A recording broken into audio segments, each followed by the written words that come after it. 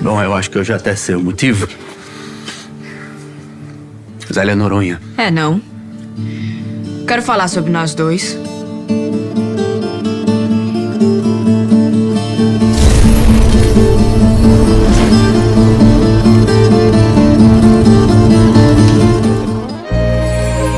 No rancho fundo, bem pra lá do fim do mundo, onde a dor a saudade contam coisas da cidade. Se Deus soubesse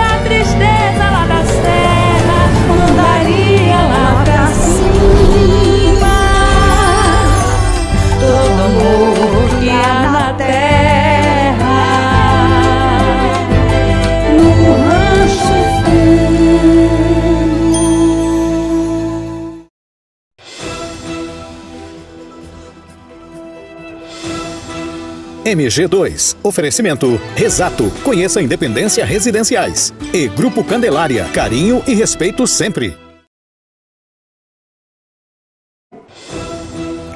Depois de mais de 12 horas interrompido, o tráfego de trens é liberado em Juiz de Fora.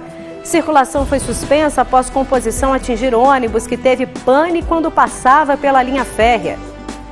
Obras de duplicação da BR-040 na região vão começar em 2030. Nova empresa assume definitivamente a gestão da rodovia em agosto. Bia Ferreira, boxeadora criada em de Fora, estreia com vitória nos Jogos Olímpicos. A gente fala disso e muito mais agora ao vivo na TV e também pelo G1 Zona da Mata. Fica com a gente que o MG2 dessa segunda-feira já está no ar.